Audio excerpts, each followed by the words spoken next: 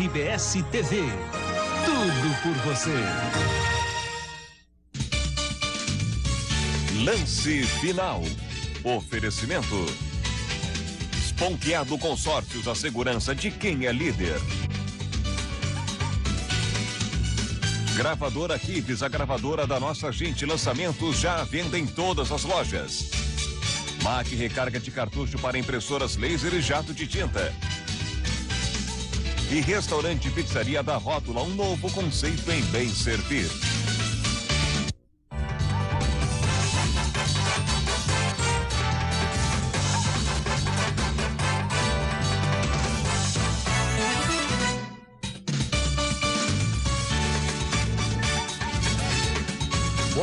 Está no ar o lance final deste domingo. Tem uma tragédia envolvendo o futebol do Rio Grande do Sul. Até aqui foram cinco jogos, nenhuma vitória, dois empates e três derrotas. Aliás, os empates só vieram de Caxias do Sul pelo Juventude. Grêmio Internacional ainda não somaram nenhum ponto na competição. Bom, essa é a tragédia que se abate sobre o futebol gaúcho. Veja agora os destaques do programa em cima exatamente deste problemaço que está colocado para nós. Veja aí. A crise do Grêmio depois da segunda derrota na Copa João Avelange. A direção do Grêmio está certa em manter o técnico Antônio Lopes. Depois do fracasso na estreia, o Inter muda a equipe para o segundo jogo na Copa João Avelange. Juventude, único time gaúcho que somou pontos até agora na competição. Embora o desmentido oficial, eu acho que o Antônio Lopes está igual ao amendoim, no limite. É o próximo a sair. Esporte Gaúcho está de parabéns. Uma atleta do judô está classificada para as Olimpíadas, Mariana Martins. Não quer falar futebol, né? Eu também não entendi a É, manchete eu do rapaz entendi, eu entendi. Mas o assunto é Olimpíadas. Eu O entendi. assunto é Olimpíada. Mas Futebol, chegando as futebol do Olimpíadas. Largaço. Não, mas futebol, vamos falar depois. O Cacau Xarope do povo. É, lógico, lógico. Ah, futebol, tá louco? Ora, que isso? Ainda mais pra quem torce pro Grêmio, né? Aí fica pior ainda. Bom, então vamos para a pesquisa interativa deste final de semana. Lance final, quero que você participe. A questão está aí pra você. Veja lá.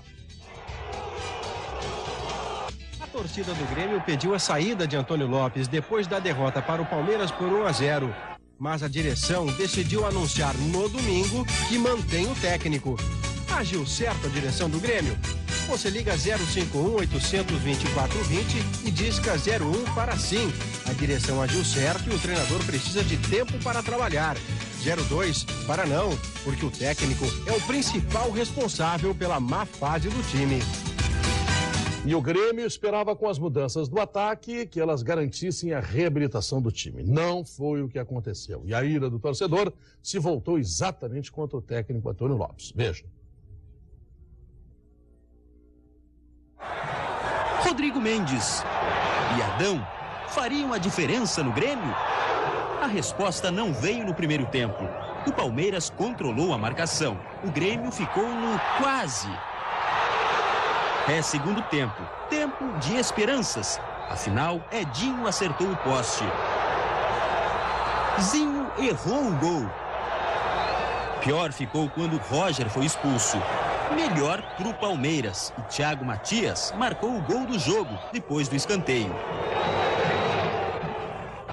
Rodrigo Mendes acabou substituído. Adão cansou de tanto tentar. A resposta era essa. Nem os reforços fizeram a diferença. Bom, eu realmente eu não tive nenhuma chance, claro, de gol. Derrota, frustração, vaia. Mas a confirmação, Antônio Lopes permanece no cargo. O professor Lopes está desenvolvendo o seu trabalho eh, e nós continuaremos internamente fazendo as discussões das coisas que nós entendemos que devam ser discutidas e devam ser alteradas. A responsabilidade é sempre do treinador e eu assumo a responsabilidade. Você chegou a pensar, Lopes, em pedir o afastamento? Não, não. Eu sempre procuro cumprir o meu contrato.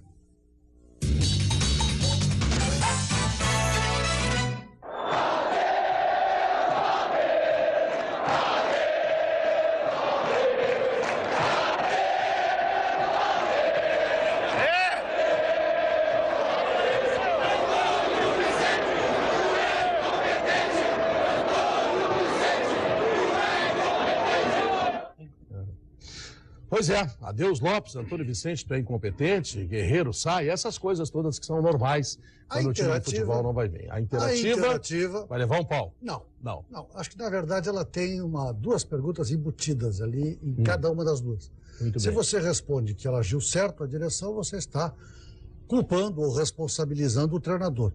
Agora, se decidir que não é o caso de trocar o treinador, se está, então, fazendo a responsabilização oposta da direção. É uma leitura que faço. Muito bem. Cacalo, são dois jogos, duas derrotas do Grêmio dentro do Campeonato Brasileiro da Copa João Avelange. E aí? O que me preocupa, Pedro e Ibsen, não é especificamente o resultado do jogo. Até hoje o Grêmio não jogou tão mal, né? Parece que fez, eh, especialmente no primeiro tempo, uma partida razoável. Eu te diria que os 15 minutos do segundo tempo, 15, 20 minutos antes da expulsão do Roger, foi talvez o melhor momento do Grêmio no ano no ano. Quando teve Sim. aquela bola do Edinho, quando teve o lance perdido pelo Zinho, quando teve o lance perdido pelo Ronaldinho, incrível gol perdido pelo Ronaldinho. O Grêmio teve ali o melhor momento acho... do ano. Pedro, eu acredito que o momento é um pouco delicado em relação a Grêmio pelo seguinte: não se trata só do resultado em si das duas derrotas que ocorreram, porque a derrota pode ocorrer no futebol sem dúvida nenhuma. A meu juízo, e é muito pessoal essa avaliação que eu estou fazendo nesse momento, é parece que o ambiente não está bom. E se o ambiente não está bom, vai refletir no resultado, evidentemente. Mas o receio que eu tenho é que vai refletir também eh, no nível de atuação, como tu se referisse agora, do Ronaldinho, que errou um gol que não poderia ter errado. O Ronaldinho é um jogador de extrema qualidade, diferenciado, e de repente no Grêmio não está jogando aquilo que todos nós queremos que ele jogue. Mais do que isso, eu acho que o Grêmio, enquanto instituição, está acima de todas as coisas para nós gremistas. Então o momento agora é de reflexão, mas o momento agora é de todos nós gremistas, independente da origem dentro do clube, se isso existir ou não, seja do ressurgimento da presença do torcedor humilde que seja. Dentro do estádio olímpico, comparecendo no treinamento, comparecendo no jogo e dando um crédito ao atleta, especialmente, que está jogando. O Grêmio não pode mas sofrer não dá, um golo, Pedro. O torcedor não dá. Mas o Grêmio não pode sofrer um golo e levar vai em seguida. Eu sempre, olha, eu fui dirigente de futebol e sempre dizia isso e vou repetir agora. Mas, Cacau, é eu assim, sou Cacau. francamente a favor da vaia para um clube que vai mal, para um time que vai mal, mas no final do jogo. Não, mas não é no assim. No meio do jogo, mas há que se tentar politizar esse torcedor nesse sentido. Não há atleta que tenha segurança para jogar futebol sabendo que tomar um gol, que é uma coisa comum no futebol, vai ser vaiado dali até o final. Ninguém joga futebol assim. Nem o Ronaldinho, nesta que é um mesa, diferenciado. Nesta mesa, existe um cidadão que certa vez disse uh, o time empurra a torcida, a torcida jamais empurra o time. O cidadão é você, É, eu acho isso sim. É, basicamente, o time tendo uma relação boa com a sua capacidade técnica, ele acaba motivando o torcedor. E aí, então, interativamente, o torcedor também tem um papel. Mas começam as coisas lá dentro. Mas eu vou votar na interativa. Nunca votei, vou votar hoje. É. Começo lembrando o seguinte: quando o Antônio Lopes declarou há pouco, é, a responsabilidade é sempre do, sempre do treinador, ele está dizendo implicitamente que não é dele que isso é apenas uma praxe, que isso é apenas uma tradição, que na verdade ele não tem responsabilidade. O que nós temos que avaliar é a responsabilidade direta do treinador no caso concreto. E eu também saio do episódio, o Cacau. Não vou ficar no episódio, porque é claro, um jogo você perde, às vezes tudo bem, e às vezes está mal e ganha. Não é pelo resultado que eu vou examinar. Mas eu fiz um ligeiro exercício de memória aqui Sim. e eu peço que vocês me acompanhem. O Grêmio compra Anderson e escala Patrício. Não estou julgando, né? Mas vejam bem. Compra Nenê. Numerando. Compra Nenê e aproveita Alex ou Fabrício. Alex compra. Astrada e aproveita Edinho. Isso. Traz Amato e joga Pitbull ou Adão. Traz Paulo Nunes e aproveita... devido às chuvas. Veja aí o Inter. No jogo de estreia da Copa João Avelange, a equipe do Internacional esteve longe, muito longe daquela que o torcedor queria ver. Muitos erros nas conclusões e no setor defensivo determinaram a primeira derrota na competição. Para o próximo jogo, o técnico Zé Mário muda o meio-campo. Gil Baiano deve sair para o retorno de Carlinhos. Recuperado, né? Lógico que um tempo afastado dificulta né, o ritmo de jogo, mas com, com força de vontade a gente supera isso. Outra alteração é na defesa. Lúcio fica fora uma semana porque vai jogar dois amistosos pela seleção olímpica. O treinador tem duas opções para o lugar dele: Fernando Cardoso ou Leonardo. A gente tem mais um, um dia de treinamento, né? Que é o, a segunda-feira, e depois disso aí a gente resolve quem vai jogar. É, são os dois jogadores que têm condições de jogar. Bom, o que será do Inter na quarta-feira? O jogo é contra o Fluminense, aqui no Beira-Rio, e é claro, o torcedor vai ter que ir lá. Ibsen, tu tem alguma conclamação aí para a torcida, oposição e tudo, como Não, fez não, o Cacau, não, não, não, precisa? não, não, não, não, Não é tão grave não, assim? Não, não, Deixa o Cacau com o discurso dele, eu vou analisar o jogo. Vou analisar o jogo. E o que eu vi no jogo? Olha, há uma máxima no futebol que o treinador que escala mal mexe bem. Pois o Zé Mário está inovando. Ele está escalando mal e mexendo pior. Ele tomou um banho de bola, um banho tático do Goiás. Isso estava visível ao longo do jogo. Na cabine de imprensa onde eu estava, com um grupo de colegas, todos percebíamos que o Goiás controlava o meio-campo, se defendia com grande quantidade e atacava com o toque, buscando os espaços e encontrava esses espaços. E a gente sentia que o jogo estava mais para o Goiás. Então não houve injustiça, eu, a rigor, diria que não houve nem surpresa. E neste quadro que fez o treinador, ele tirou o meio-campo e botou o Serginho. Ora, naquele momento, o Leonardo rendia absolutamente nada, até porque um jogo de toque não é jogo para o Leonardo. Ele pode até ter um papel, nós já concordamos nisso aqui. Naquele Temos jogo do abafo, dele, Leonardo. é, você observa, o Leonardo tem, tem lances que chegam a ser até grotescos quando Não, exigem teve- um controle. Teve um que foi ridículo no segundo É. tempo, acho que vai aparecer daqui a pouco. Você viu que o Fabiano correu e abriu espaço para ele entrar, ele entrou É. pelo lado errado, Isso. oposto ao da bola. Teve um cruzamento que ele funcionou como zagueiro.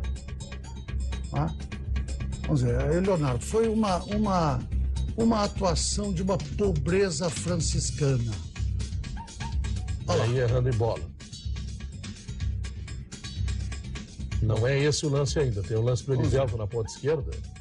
É. Vamos ver, vamos É acompanhar. esse aí. Esse aí, É esse aí. aliviou. Ele devolve pro Elivelto. Devolve é pro fantástico Elivelto. essa jogada. Fantástico. Bom, mas e aí? Bom, aí o, o treinador tira o Gil Baiano, que também não estava bem, mas é um jogador do setor de armação, onde estava o maior problema no Internacional. Uhum. E coloca o Serginho. Enquanto isso, do lado esquerdo, ele tinha dois laterais. O, o Zé Mário está jogando assim. É o lateral esquerdo e o auxiliar do lateral esquerdo, que é o Elivelto.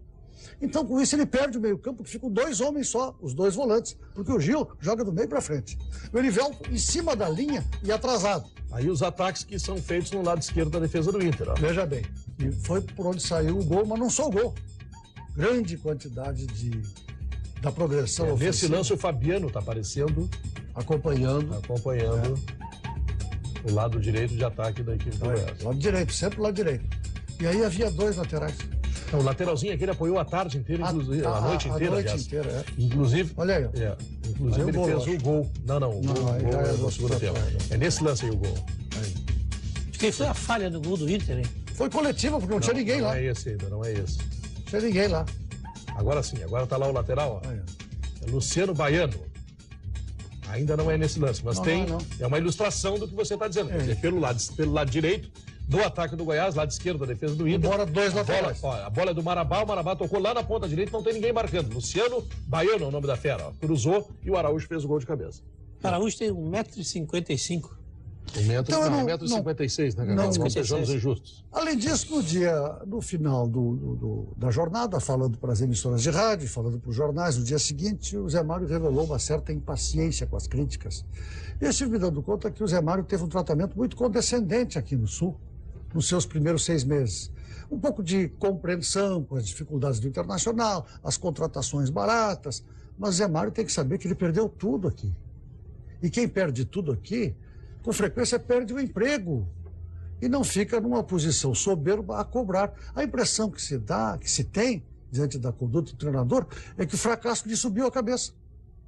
Mas essa não é só uma sensação do Zé Mário, isso é uma questão do departamento de futebol. Se tu ouvires uma entrevista do Fernando Miranda, ele vai dizer que está tudo certo, que não se arrepende, que o Inter melhorou muito. O Zé Mário diz que o time evoluiu muito mais do que ele Isso não é imaginava só no essa semana. Internacional, Pedro. Hein? Não é só no Internacional. O treinador do Grêmio perdeu tudo e não perdeu emprego também. Quem ganhou o treinador do Grêmio esse Mas eu acho que o. Mas o Antônio treinador Lopes do tá- Grêmio, o tá- treinador do Grêmio tem, um- tem, tem uma vantagem em relação ao Zé Mário. O treinador do Grêmio chama-se Antônio Lopes. que já ganhou diversos títulos e o Zé Mário não ganhou nenhum. Não, Mas é eu... pior, eu até acho que isso é pior, Pedro. Não, não, é, acho que não. Eu acho que é Daqui pior. Tu tá dando um tempo para alguém que tem passado. O com o currículo que o Grêmio tem tinha obrigação de ter um desempenho melhor que o do Zé Mário, não, que não tem currículo. Eu também acho, eu também acho. Um aspecto eu é melhor, o outro é pior. Mas o, o, o Lopes está humilde nas declarações. O Zé Mário está soberbo. eu acho que o fracasso me subiu a cabeça. É uma maravilha, né? É a explicação que eu tenho. Mas, de qualquer forma, isso é uma tendência do departamento de futebol. Isso é que eu quero te chamar a atenção. Fernando Miranda tem o mesmo discurso do técnico. O Medina tem o mesmo discurso. O discurso do Internacional, enquanto departamento de futebol, é rigorosamente o mesmo. De que o Inter avançou, avançou muito e que o Inter vai classificar. Tomara que eles tenham razão. Isso não é privilégio internacional, vou te dizer de novo, Pedro. Hum. O Grêmio perdeu para o Flamengo, a direção toda do Grêmio de forma uníssona, dizer que o Grêmio fez uma grande partida. Toda não, a direção não, do Grêmio é, fez isso. Não, não foi bem isso. Disseram que o Grêmio melhorou em relação ao Grêmio. Não entendo. É, o que não adianta nada. Levou 3 a 0 É hora de, de chegar hoje, junto mesmo? Hoje, hoje o Grêmio melhorou mesmo em relação ao Grêmio. E perdeu de novo. Não, tudo bem, mas hoje perdeu até com uma não, certa não dignidade mais. e com algumas fatalidades no jogo. Mas o jogo de quarta-feira, que segundo o presidente, segundo o vice-presidente, o Grêmio melhorou em relação a si mesmo, assim, melhorou. Mas foi um discurso combinado, não foi? Não foi um discurso combinado? Não sei, eu sei que faltou muita coisa para ganhar do Flamengo. Hoje, pelo menos, o Grêmio teve perto da vitória, o que há muito tempo não acontecia. Eu, eu te lembro aqui os últimos jogos do Grêmio? Caxias 3 a 0 Lembra disso? Sim. Caxias 0 a 0 O Grêmio nunca teve perto de ganhar. Não, é verdade. Jogos oficiais, os quatro é verdade, jogos é verdade, oficiais. É verdade. Nem no 0 a 0 Jogo contra o Flamengo 3 a 0 o Flamengo foi um chocolate. É verdade. Tá? Hoje o Grêmio, pelo menos em 15 minutos, jogou futebol. Bom, mas então é o ambiente que está prejudicando o Grêmio. Será que todas as contratações do Grêmio, todas elas, é, deram errado? Ou será que o treinador está querendo provar que não lhe deram material para ele aí, trabalhar? Aí, eu quero cair na tua avaliação anterior. Eu não vou avaliar jogador, sabe por quê? Porque se tu não tens um time, não, tu não estou avaliando. Não você não tem estrutura de é. equipe. Não, não, estou é. avaliando pelo jogo. Não, mas claro. Esses jogadores aqui, com exceção talvez do Sandro Neves, ah. são jogadores, ou do Anderson, talvez um pouco também, não, são jogadores são jogadores provados. Claro, com história. Claro, claro. Não é possível que todos tenham desaprendido. É. Eu acho, acho, não posso hum. afirmar isso, que o treinador está com problema de relacionamento. É. O que eu acho, acho não, tenho certeza, é que avaliar qualquer jogador é prematuro, perigoso e talvez leviano. Porque se não tem um time escalado, e não tem. Não tem estrutura, Pedro. Não tem estrutura, claro, mas para ter estrutura tem que ter um time. É, então, se não tem nada, qualquer jogador que entrar vai ter dificuldade. Até o Ronaldinho vai perder um gol que o Sim. Pedro, mas jogador, isso em relação aos que estão jogando, porque os que estão fora estão sendo julgados, na verdade. Não tem dúvida. Não, aí, aí entra que aquela estão história. fora não, estão aí, sendo julgados. Aí entra aquela história, quando não joga é melhor do que está jogando. Não, isso é algum tipo de jogador Ah, que é bom isso não citar alguma- o nome, né? Alguma coisa assim, né? Antes de chamar o intervalo comercial, você vê como fica a interativa do programa e participa dela. Veja aí. Torcida do Grêmio pediu a saída de Antônio Lopes depois da derrota para o Palmeiras por 1 a 0. Mas a direção decidiu anunciar no domingo que mantém o técnico. Agiu certo a direção do Grêmio? Você liga 051 824 20 e disca 01 para sim. A direção agiu certo e o treinador precisa de tempo para trabalhar. 02 para não, porque o técnico é o principal responsável pela má fase do time. Então tá, vamos ao intervalo comercial. O lance final volta daqui um minuto. A seguir você vai conferir todos os gols dos times gaúchos na Copa João Avelange. Ainda tem o lance da semana. Claro que vale a pena esperar. A gente volta em seguidinha.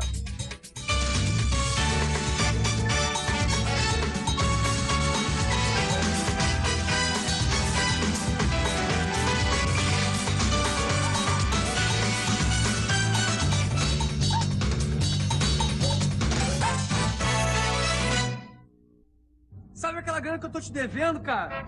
Pois é, ainda não vai dar. Raspa que dá! Cara, minha situação tá assim, ó. Se eu comprar um carro, depois não dá nem pra gasolina. Raspa que dá!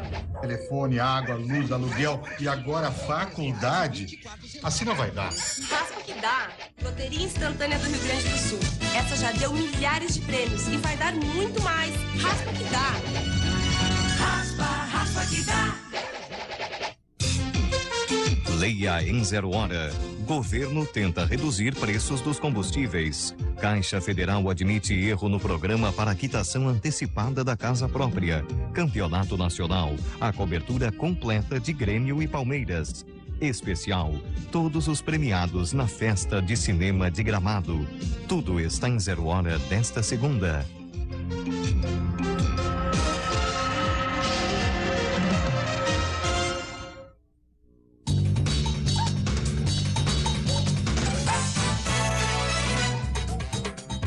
Estamos de volta com o lance final e com a pesquisa interativa. Veja como você pode participar. Ainda dá tempo. Veja aí.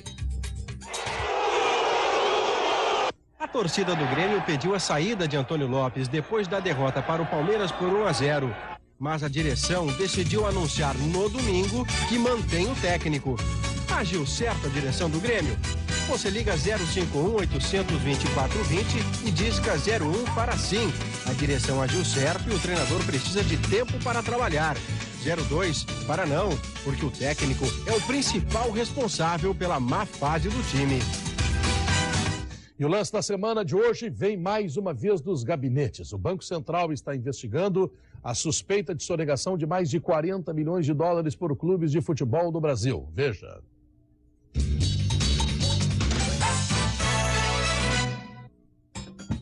Todos os grandes clubes do país que negociaram jogadores com o futebol do exterior entre 92 e 98 estão sob suspeita, com exceção de Fluminense e de Cruzeiro. É que os dólares da venda de jogadores têm que passar por bancos autorizados para fazer o câmbio. Mas em muitos casos essa transação não foi realizada. Com isso, o Banco Central está pedindo informações aos clubes a respeito destas transações. O Internacional já está providenciando a documentação para esclarecer os negócios do clube. Nós estamos dando informações, esclarecimentos que estão sendo solicitados, que ainda não têm essa, essa característica de um processo. Não é nem um processo administrativo. Mas, evidentemente, que se essas informações não convencerem ou não forem, eh, não atenderem àquela expectativa do Banco Central, nós poderíamos ser eh, levados a um processo. Aí sim. Ora, 40 milhões de dólares, todos os clubes brasileiros. O Banco Central podia se preocupar, por exemplo, com outro assunto. Vou dar uma sugestão aqui. 1 bilhão e 600 milhões de dólares, 40 vezes isso, foi dado ao Banco Marca, Banco Sindata. Tá? Daí um tema para a preocupação do Banco Central. Agora, isso é uma coisa que preocupa dirigentes, né, Cacau? Sabe que enquanto eu estive na presidência do Grêmio, Pedro, eu mais de uma vez dei explicações ao Banco Central com relação a alguns negócios do Grêmio e todas foram aceitas tranquilamente. Não sei se são outros negócios que foram feitos ou no, no meu período na, na gestão que eu estava na presidência ou depois, mas o Banco Central já tinha feito isso. Até me surpreende a divulgação, a manchete que está sendo dada a isso nesse momento, porque ah, naquele tempo já era uma coisa de rotina isso aí, embora eu entenda também que há outras preocupações muito maiores que o Banco Central devia adotar em relação a determinados procedimentos. Olha, o lance final segue com o show de gols. Você confere a rede balançar nos Jogos dos Gaúchos em mais uma rodada pela Copa João Avelange e na abertura do octogonal da divisão de acesso, onde uma partida terminou empatada em 0 a 0 Bagé e Novo Hamburgo. O palmeirense venceu o Brasil de Pelotas por 2 a 0. Pela repescagem, São José de Cachoeira e Lajadense também empataram em 0 a 0. Agora veja todos os gols.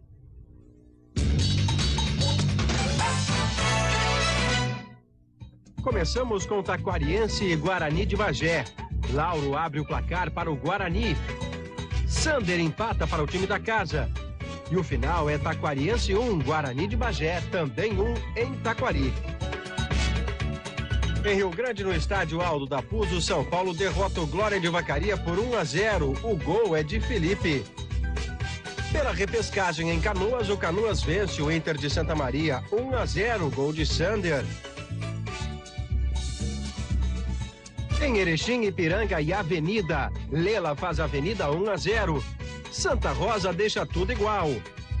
Mas no finalzinho, Chiquinho, por cobertura, faz golaço, o segundo da equipe de Santa Cruz. Ipiranga 1 em Erechim, Avenida 2. Brasil e Rio Grande jogaram em Farroupilha. Henrique, Rio Grande na frente 1 a 0.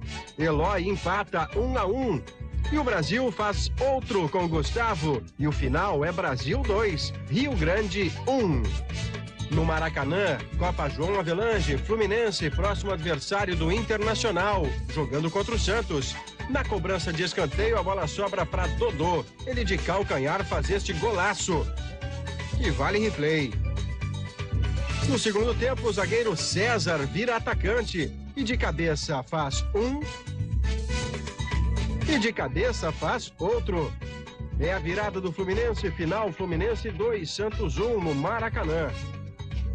Hoje em Caxias do Sul, Juventude pegando a Ponte Preta. O primeiro gol é da Ponte, Washington. A equipe da Serra empata com Maxandro. Final Juventude 1, Ponte Preta também 1 no Alfredo Jacone. Copa João Avelange, Estádio Olímpico. Depois da cobrança de escanteio, confusão na área, a bola sobra para Pena. Ele cruza e Thiago Matias, dentro da pequena área, faz o gol da vitória do Palmeiras. Final, Palmeiras 1, Grêmio 0 no Olímpico. O adversário do Grêmio na quarta-feira é o Bahia. Ele empatou em 0 a 0 com o Atlético Mineiro lá em Belo Horizonte. Portanto, é um adversário qualificado, não é? Bom, e o Juventude? O Juventude foi o único time que somou dois pontos, Cacau. Engraçado, né? O Juventude estava na segunda divisão e subiu, entrou, embora respeitosamente, pela porta dos fundos. E a equipe gaúcha melhor colocada no campeonato. Vamos ver como nós estamos nos contentando com pouco. Dois empates em casa. É, e sem leite da Parmalat. Né? Dizer, terminou o leite do Juventude, Juventude continua ganhando. Bom, vamos ao resultado da pesquisa interativa. Você participou do programa, você ligou e você está em a sua opinião que será conhecida agora. Veja aí. 43% dos torcedores acham que a direção do Grêmio agiu certo. E 57% acham que não, que o técnico é o principal responsável pela má fase. Bom, esta pesquisa interativa, a sua participação, pelo que nós agradecemos cada vez mais, sempre a sua participação aqui no Lance Final. Ipsi Pinheiro, seu recado final no programa. Meu recado final vai para os conselheiros do Internacional, que amanhã se reúnem para um ato de rotina, que devia ser de rotina, mas tem sido rumoroso, a apreciação das contas da gestão anterior. Parecer do Conselho Fiscal não aponta irregularidade. Tinha dúvidas que foram, afinal, eh, depois de uma discussão e de confrontamentos lá, superadas. Permanece um grande problema político de enfrentamento, no qual o internacional é muito agudo, como todos sabem. Eu gostaria que os conselheiros do internacional pensassem o quanto esse tipo de enfrentamento produz de negativo para a imagem do internacional. Enquanto o velho rival ali da Zenha mantém as suas coisas em economia interna e até faz um contrato de 30 anos sem que o seu conselho leia o texto do contrato, tratando como economia interna, o internacional leva todas as suas questões para as páginas dos jornais. Algumas que estas sim mereciam o tratamento de economia interna. Não faço nenhuma avaliação sobre as questões concretas que estão postas, mas sobre a preocupação que me parece deve ser do seu Conselho Deliberativo de preservar, quanto possível, a imagem tão atingida do internacional. O Cacalo certamente vai encerrar o programa falando sobre a Olimpíada e sobre a teta da Sojipa que está classificada, não é, Cacalo? tá boa, Pedro. Não, Começasse por aí, eu né? vou encerrar o programa é, pegando um gancho do que disse o Ibsen quando se referiu ao Grêmio como rival da Zeia. É a hora de todos os gremistas fazerem um mutirão para que esse Grêmio, que é da Zenha, volte a ser não só da Zenha, mas de Porto Alegre, do Rio Grande do Sul, do Brasil, da América e do mundo, porque já foi campeão do mundo. O meu recado final para concluir o programa, lembro uma frase na jornada esportiva da Gaúcha, dita pelo repórter José Alberto Andrade. Quando a torcida do Grêmio gritava adeus Lopes, ela, a torcida do Grêmio, estava demitindo o treinador. A direção não confirmou a demissão, mas a torcida, uníssona, gritando no estádio, indignada com mais uma derrota que estava chegando, gritou adeus Lopes e demitiu o treinador do Grêmio. O programa está terminando, ele volta no próximo domingo. Mas não esqueça, amanhã, 11 da manhã, tem reprise na TV Com. Boa noite e até domingo que vem.